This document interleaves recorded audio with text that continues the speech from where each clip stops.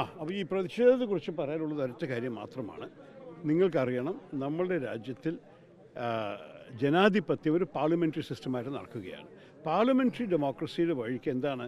മന്ത്രിമാരുടെ ഉത്തരവാദിത്തം പാർലമെന്റിൽ ബ്രീഫ് ചെയ്യാനാണ്. അതാണ് അവരുടെ ഉത്തരവാദിത്തം. വലുത് സംഭവിച്ചാൽ മന്ത്രിമാർ പാർലമെന്റിൽ വരിക. അതിന്റെ പകരം ഗൃഹ നമ്മുടെ ഹോം മിനിസ്റ്റർ വരാതെ അദ്ദേഹം വെളിയിൽ പോയിട്ട് മാധ്യമക്കാരോട് സ്റ്റേറ്റ്മെന്റ് ഇറക്കുന്നു സംസാരിക്കുന്നു. അത് ശരിക്കും അപമാനമാണ്. ഞങ്ങൾക്ക് മാത്രമല്ല പാർലമെന്ററി ഡെമോക്രസിക്ക്.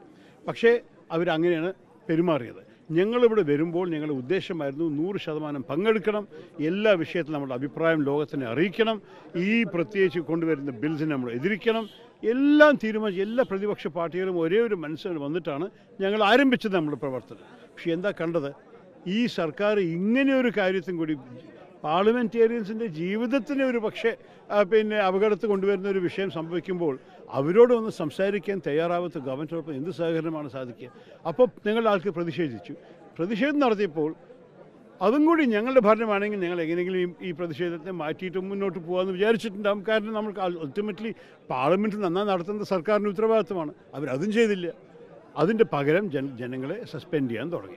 അവസാനത്തിൽ പിന്നെ ഇതിൽ ഇരുന്നിട്ട് കാര്യമില്ല പറഞ്ഞിട്ട് എല്ലാവരും പ്രതിഷേധം ചെയ്തു എല്ലാവരും സസ്പെൻഡായി. പക്ഷേ ഒരു കാര്യം കൂടി മനസ്സിലാക്കണം. നമ്മുടെ പാർലമെന്ററി ഡെമോക്രസിയുടെ ചരിത്രത്തിൽ നൂറ്റമ്പത് പേരെ ഒരു സമയത്ത് ഒരുമിച്ച് ഏത് രാജ്യത്തിലും ഒരിക്കലും സസ്പെൻഡ് ചെയ്തിട്ടില്ല വെളിയിലാക്കിയിട്ടില്ല. ഇതൊരു ഒരു ഒരു നാണക്കേടാണ് ഭാരതത്തിന്. ഭാരതം ഡെമോക്രസിയുടെ മാതാവാണെന്ന് പറഞ്ഞ് നടക്കുന്ന ഒരു പ്രധാനമന്ത്രി ഇതിനെയാണ് ചൂണ്ടിക്കാണിക്കാൻ പോണത്. വലിയ ഭക്ഷണം